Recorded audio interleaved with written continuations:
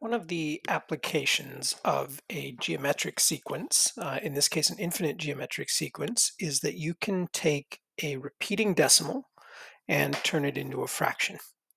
So what we're going to do in this question first is separate our decimal into the non-repeating part, so that's the 3.8, and then the repeating part.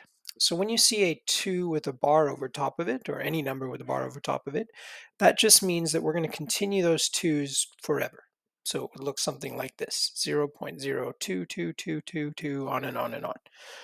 Okay, so how do we turn each of these into fractions? Well, a non-repeating number is really easy to turn into a fraction. Simply divide by the appropriate value of 10 or 100 or 1000. So it's 3.8 we only have one decimal place, so we divide by 10.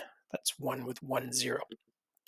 All right, this one's a little more complicated. What you have to realize is that this is a sequence where you have an initial value of 0.02, and then each term after that is the other 2, which is going to be 10 times smaller.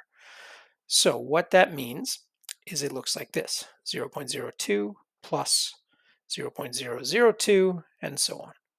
So this is our sequence. So what we're going to do with this sequence is realize that our initial term is 0.02, which can be easily now turned into a fraction. That would be 2 over 100. And it's an infinite sequence. It continues forever. So our n is infinity. And our r value, you can, there's a few ways to figure out the r value. You can just sort of recognize that decimals are each um, digit is 10 times smaller, or you can take any two terms and divide them. In this case, we've taken the second term and the first term, and that would be 1 tenth. All right, now that we know those values, let's go ahead and plug them into our sum. Because the sum of these terms will be the value of all of the them put together, or more importantly, the value of the original repeating part of our original number. So when we plug these in, we've got 2 over 100 on top for our a value, 1 minus 1 tenth, Let's start simplifying that. We need a common denominator here at the bottom in order to subtract the fraction. So we're going to turn the 1 into 10 over 10. That would be, after the subtraction, 9 over 10.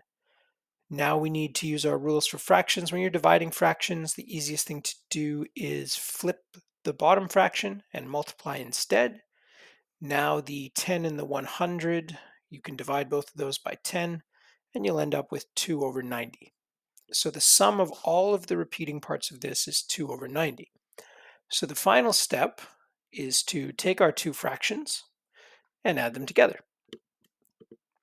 To do that, you're going to need to create a common denominator. So again, we're going to multiply top and bottom of this one by 9 to get 342 over 90. And now we can add our numerators, 344 over 90 you do want to simplify that as po if possible. So in this case, both of those do divide by 2. So there's your final answer, 172 over 45. Now, if you were to take a calculator and plug in 172 divided by 45, it will tell you that is 3.8 and then a bunch of 2's.